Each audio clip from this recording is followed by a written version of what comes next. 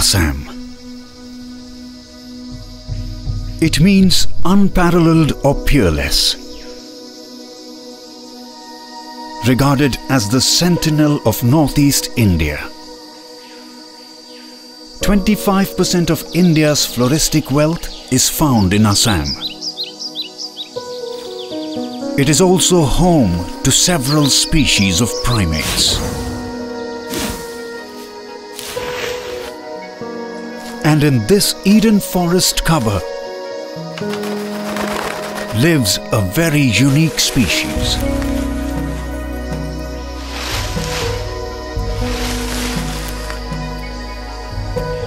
A species that is considered our closest relative. The western Hoolock gibbon.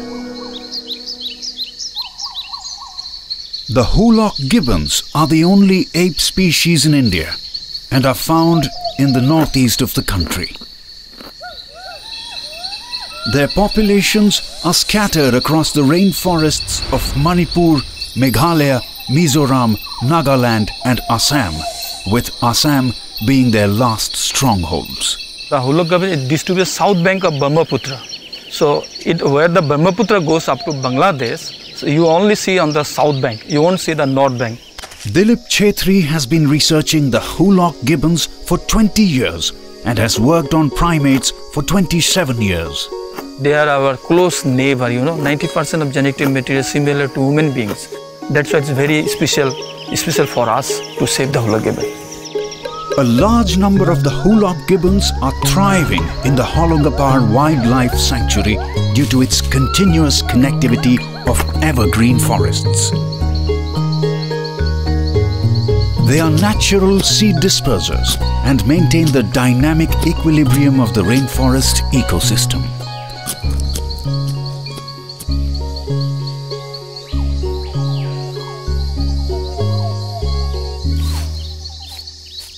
They are monogamous, you know.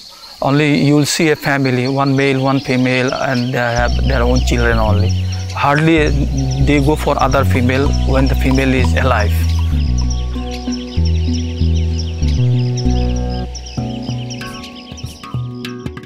The Hoolock gibbons are also known as white-browed gibbons. They are tailless just like other apes. Males and females come in different colors but are usually of the same size. They can live up to 35 years in the wild and 60 years in captivity. Their arms are longer than their legs, elongated and hook-shaped. They use their long arms to exhibit a specialized form of locomotion called brachiation to travel across the forest. Hoolock gibbons are almost entirely arboreal and depend on continuous canopy for their movement. These graceful gibbons are the true specialists of the forest canopy.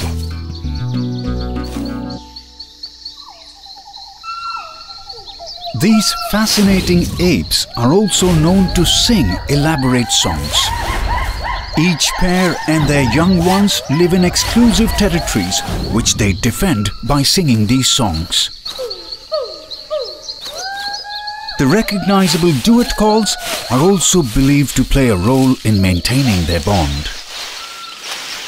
In Hollongapar Gibbon Wildlife Sanctuary, you know, the population is gradually increasing there, but it is fragmented. One of the biggest threats to critical wildlife habitats across the country is the expansion of linear infrastructure like railway lines and highways. They shrink habitats and isolate wildlife populations. This 1.6 kilometer railway line that cuts through the Hollongapar Wildlife Sanctuary dissects the sanctuary into two unequal parts. Since gibbons are arboreal, they find it increasingly hard to cross from one side to another, most times even risking their lives. This railway line has existed since the 1800s and is a critical route in Assam, but the impact on wildlife cannot be ignored. Then another thing in uh, Hollongapari, you know, the tea gardens, the pesticide, the herbicide, the whole thing is comes to the inside uh, the sanctuary. Expansions of tea gardens have fragmented natural ecosystems across Assam. And habitat fragmentation has the biggest impact in dispersing of species. Once a lush, continuous forest, Barikuri, a village in the Tinsukia district, is now home to hundreds of human beings, and about two dozen Hoolock gibbons also live here. The Hoolocks have a deep connection with Assamese culture, finding place in their songs and folklore. And what makes them remarkable is that they have a thriving relationship with the village residents. যে এই হলু বান্দৰখিনি আমাৰ মানুহৰে আদিম আছিলে মানুহতকৈ আগতে অহা মানে আদিম আমাৰ মানে মানৱ আছিলে আমি কাম কৰি কৰি আহিলোঁ তেতিয়া এতিয়া মানুহে বাৰেকুৰি মানুহে গোটেই মানে মানুহৰ পৰিয়ালৰ দৰে বাৰেকুৰি অঞ্চলৰ হলুখিনিক মৰম কৰে The Barikuri Eco Development Committee is a local collective spearheaded by Diplog. They organize plantation drives to enhance the forest cover and canopy. While the committee has been doing their bit since its inception, several factors have led to a worrying situation.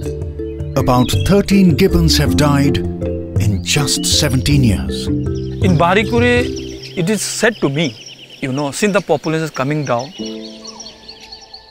gradually the population of human beings increasing, they are cutting their forest. Mini tea gardens coming up around the Barikuri.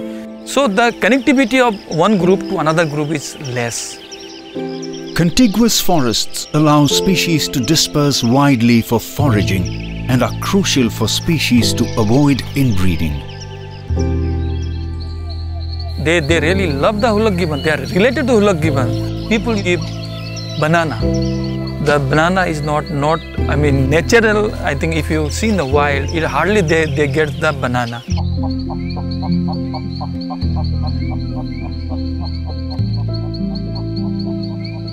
The disease from human beings may be transported to the gibbons, from one gibbons to other gibbon. From the gibbons, it can come to the human beings. So this is one of the risk factor. It is imperative to understand what these species are capable of and also understand their needs for survival.